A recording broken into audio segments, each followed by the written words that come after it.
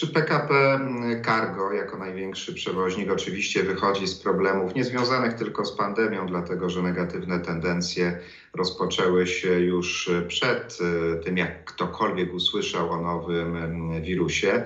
E, prawie pół miliarda strat. Pewnie byłoby lepiej, gdyby nie to, że przyszedł ten cios na początku ubiegłego roku i zamknięto e, kierunek wschodni.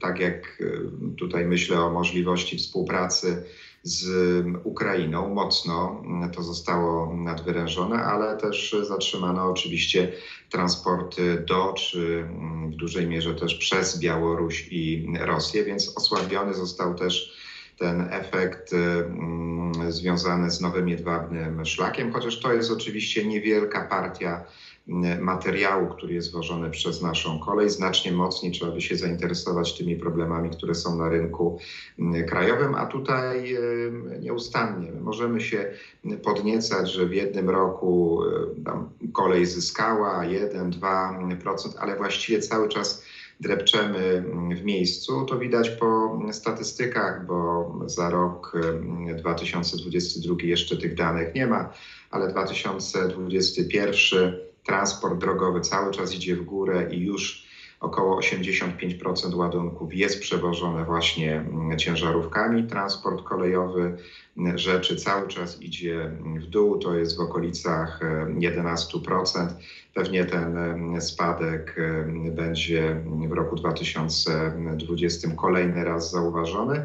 I tutaj e, mówi się o dwóch rzeczach. Znów nie od miesiąca, nie od pół roku, tylko od wielu, wielu lat. E, cały czas porównuje się te warunki konkurowania w stosunku do dróg, bo z jednej strony nie ma ani pół metra toru kolejowego, za którego przejechanie nie trzeba by płacić. Ja to mówię tak obrazowo, e, ale mm, porównujemy to do niecałych 3700 kilometrów dróg krajowych, na których jest płatność dla samochodów ciężarowych. Ostatnie rozszerzenie tego systemu to jest rok 2017, więc zdecydowana większość dróg jest bezpłatna dla transportu towarowego, a te stawki drogowego, a te stawki, które są, należą do jednych z najniższych w mm, Europie. Stawki za dostęp do infrastruktury kolejowej należą do jednych z najwyższych w Europie. Gdybyśmy jeszcze dostawali świetną jakość, no to można by zagryźć zęby i walczyć o te towary. Ale niestety e, prędkość średnia samochodu ciężarowego na naszych drogach to jest jakieś 68 km. Średnia prędkość pociągu towarowego spada, to są 22 km, czyli jak się przyłożymy dobrze, to jesteśmy w stanie rowerem taki pociąg e, wyprzedzić, więc e, czasy przejazdu także nie są konkurencyjne. No i mamy wreszcie taką ilustrację inwestycji z ostatnich e, lat, które miały teoretycznie poprawić e, tą zdolność konkurencyjną kolei towarowej. W bardzo wielu przypadkach ją ograniczają, bo likwidujemy na przykład stacje, likwidujemy możliwość więc e, odstawienia na chwilę pociągu towarowego na boczne tory po to, żeby mógł być wyprzedzony przez pociągi pasażerskie, bo one mają priorytet.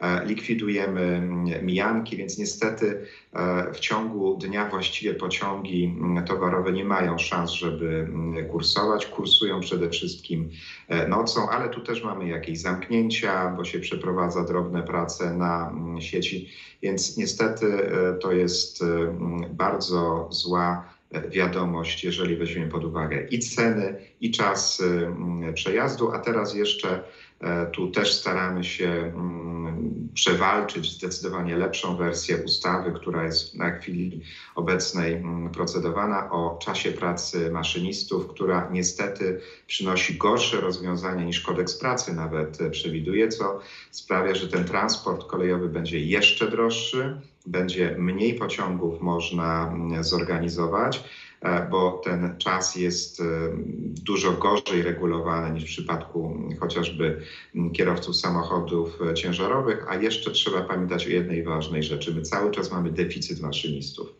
E, nie zmieniliśmy nic, jeżeli idzie o system szkolenia, który jest najdłuższy w Europie, prawie dwa lata. Więc niestety rzucamy sobie kolejną kłodę pod nogi.